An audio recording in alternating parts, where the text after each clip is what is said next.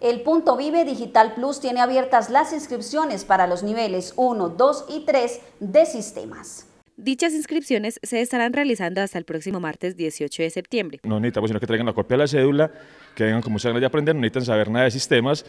Como les había dicho al principio, son tres niveles, entonces los que vengan para un nivel más avanzadito deben de tener pues, como las nociones de, de, de conocer el computador, por lo menos encenderlo,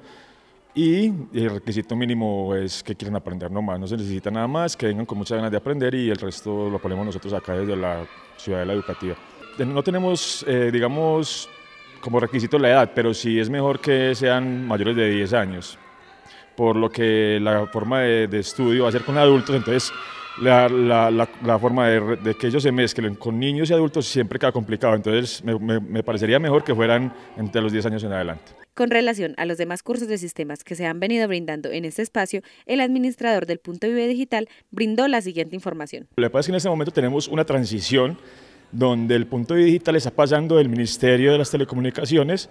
al municipio. Entonces, eh, no se preocupen que, que, apenas pasa esa transición, todo volverá a la normalidad y los cursos que se han venido ofertando de, de, programación, de Photoshop, de diferentes cursos que se están dictando en el punto, van a regresar. De otra parte, en la Secretaría de Educación Municipal, la cual también funciona en las instalaciones de la Ciudadela Educativa y Cultural del Lago, se vienen realizando las inscripciones para el grado preescolar de las diferentes instituciones educativas. Hasta el 21 de septiembre tenemos inscripciones, acá se les va a dar pues, como el certificado y van a referirse a cada colegio con ese certificado y allá los van a matricular.